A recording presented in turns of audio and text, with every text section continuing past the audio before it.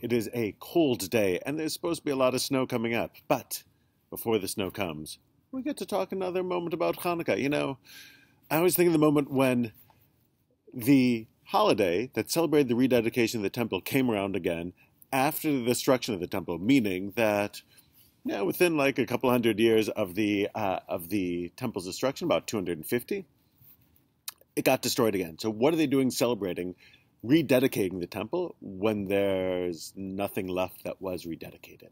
And it seems that this is the time when the tradition redefines the holiday of one where the miracle was the battle of rededication into one of the miracle of the lights and of the oil lasting longer than expected.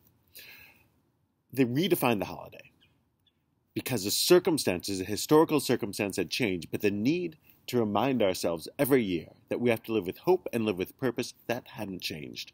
And they found different emphases for the same ritual, and that that's an instructive moment for us. Look, we may not believe that there's miraculous oil lasting longer. Uh, that's less significant.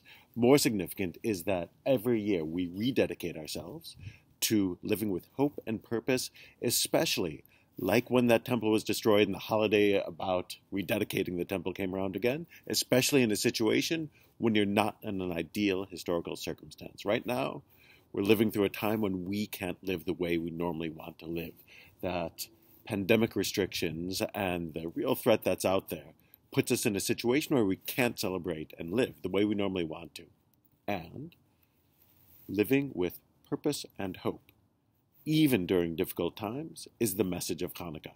And this year, as we reach the end of the holiday once again, we should remember that. Redefine our holiday. It's not just about miracles of oil or about wars. It's about living with hope and purpose in difficult times. We are the inheritors of a tradition that teaches us that we can do it. And during this time when we need to bring light into the world, we'll be able to. Happy Hanukkah.